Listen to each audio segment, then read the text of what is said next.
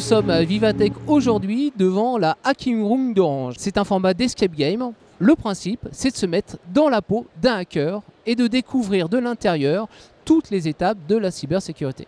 Ça nous permet de développer la conscience de la sécurité, l'éducation sur la sécurité, la conscience technologique hein, de tous les moyens qui sont mis en œuvre à disposition, également de solliciter et d'intéresser des profils qui vont pouvoir euh, intéresser Orange, être intéressés par Orange pour travailler dans la cybersécurité. Nous recrutons des métiers très très divers et très variés, euh, comme par exemple des pen testers. Ce sont les personnes qui vont euh, tester le hacking possible de nos, de nos systèmes et essayer de déclencher des intrusions.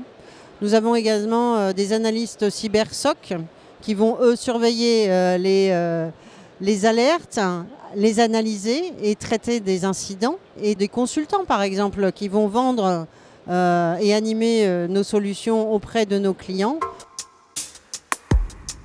D'abord pour la grande variété des, missions et des activités de la cybersécurité. On a une représentation de la chaîne des métiers euh, de la cybersécurité chez Orange.